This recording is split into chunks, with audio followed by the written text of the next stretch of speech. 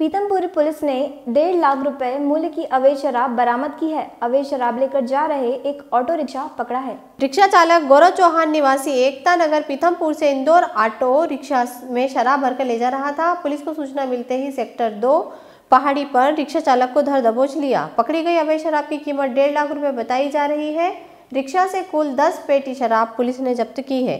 पीथमपुर से संजय सोनकरा की रिपोर्ट।